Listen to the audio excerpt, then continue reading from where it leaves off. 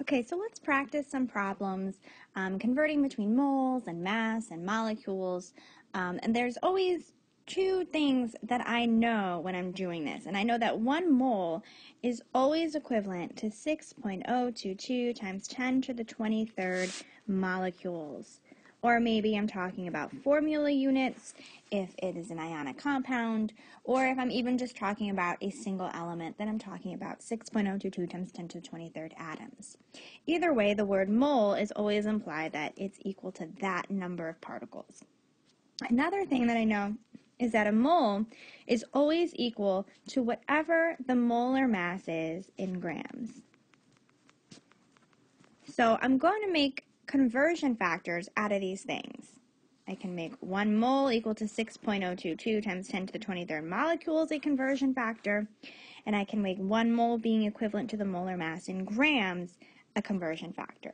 So these are two things I'm going to keep in mind as I'm doing these problems. So let's start. Let's look at number 8. It says to convert 0.92 moles of carbon dioxide to number of oxygen atoms. And for your reference, carbon dioxide is CO2.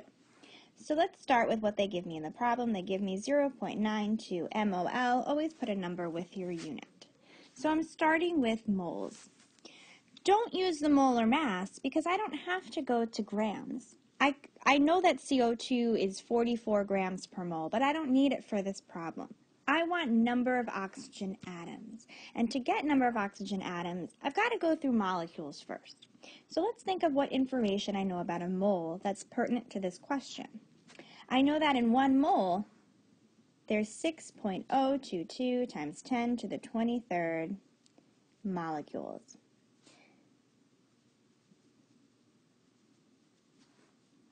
I put moles on the bottom so that it cancels out with the moles that I already have. Now I'm in molecules of carbon dioxide, but I don't want the number of molecules. I want the number of oxygen atoms. So when I'm asked about a specific atom in a molecule, I can end up using the subscript as a conversion factor.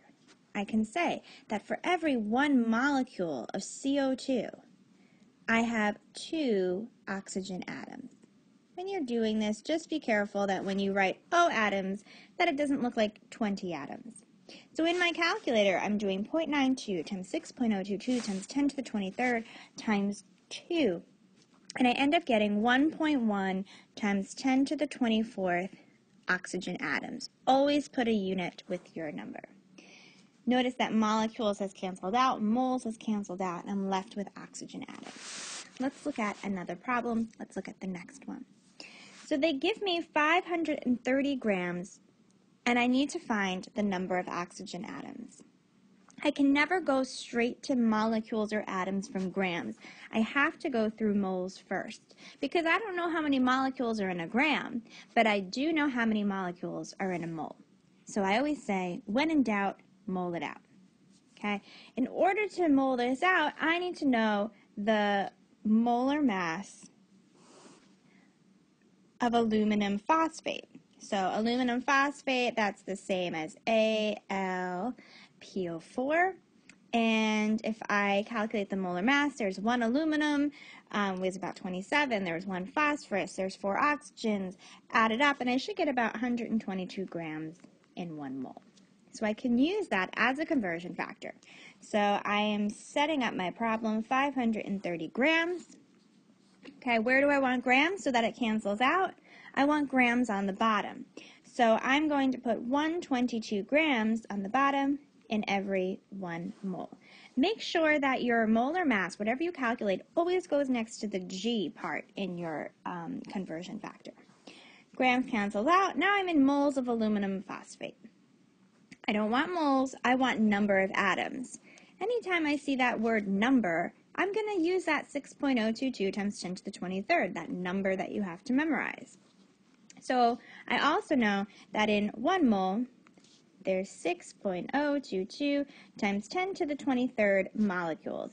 In this case, I'm just going to write FU for formula units because AlPO4, aluminum phosphate, isn't really a molecule because it's ionic, so I'm going to call it a formula unit, the simplest formula. Moles cancels out, and I'm in formula units of aluminum phosphate. But I don't want that. I want the number of oxygen atoms.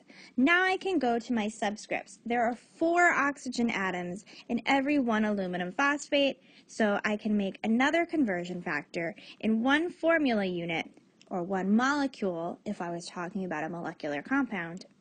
There are four O atoms. Formula units cancels out, and I'm left with oxygen atoms. So if I were to do this out, I should get about 1.1 times 10 to the 25 oxygen atoms. Let's try the next one. The next one gives me molecules. Let me copy what I have down. 5.00 times 10 to the 24th molecules. And they want moles.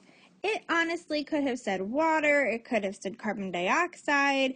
It didn't really matter for this question because I always know that there are 6.022 times 10 to the 23rd molecules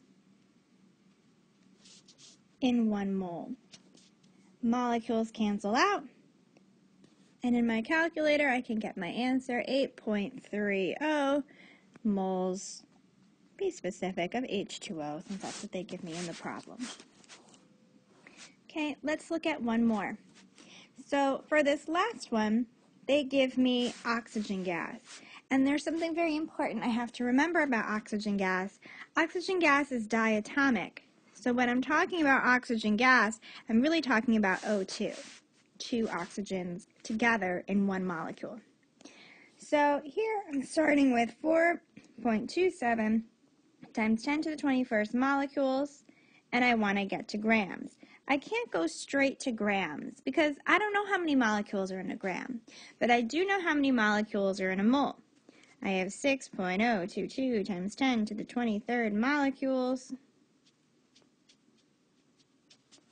in one mole.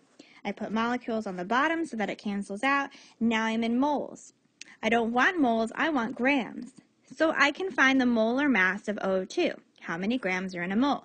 There's two oxygens, they each weigh 16 grams per mole, so altogether that's 32 grams per mole. So I can use that as a conversion factor. I want mole on the bottom so that it cancels out. I want 32 grams on top, and I'm going to end up with my answer as about 0.227 grams of oxygen gas.